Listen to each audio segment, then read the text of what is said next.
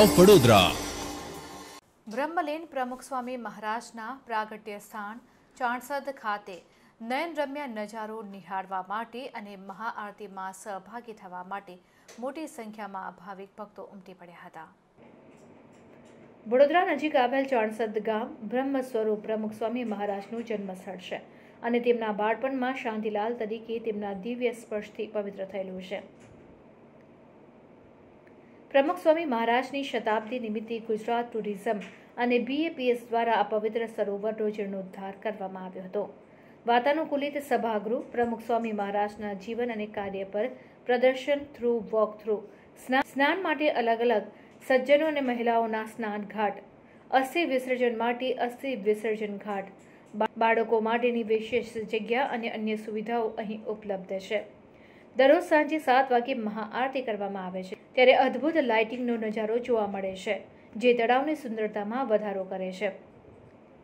પ્રમુખ સ્વામી મહારાજના પ્રાગટ્ય સ્થાન ચણસદ ખાતે નારાયણ સરોવર પરિસરમાં બીએપીએસ ખાતે અદ્ભુત લાઇટિંગનું ડેકોરેશન કરવામાં આવ્યું છે.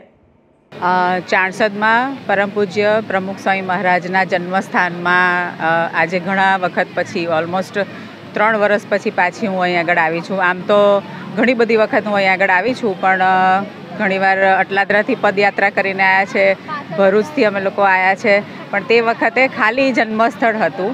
પણ આજે જ્યારે ત્રણ વર્ષ પછી આ જગ્યા જે નારાયણ સરોવર, સ્નાનઘાટ અને આ હનુમાનગઢી જે છે, એ બધા જે તીર્થ સ્થાનો છે, જ્યાં જ્યાં પ્રમુખ સ્વામી મહારાજ એમનું બાળપણ ત્યાં વિતાવેલું છે ને, એ બધું જોઈને ખરેખર અંતરમાં બહુ જ શાંતિનો અનુભવ થાય. જ્યારે અમે ચાર વાગે આવ્યા ને, તે વખતે ઘણા બધા સંતો પણ અહીંયા આગળ આવ્યા હતા. એટલે એ જે માહોલ હતો ને, એ જોઈને આમ અંદર અંદર એવું થાય કે ભલે ગમે ત્યાં આપણે જઈએ છીએ, ઘણા બધા ટુરિઝમના સ્થળો છે, પણ આ જગ્યા પર આવીએ છીએ ને, ત્યારે અંતરમાં ખૂબ જ શાંતિ, કેમ કે પ્રમુખ સ્વામી મહારાજનું નામ જ શાંતિલાલ હતું. એટલે એમના દર્શન કરીને અંતરમાં ખરેખર ઘણી બધી શાંતિ થઈ ગઈ છે.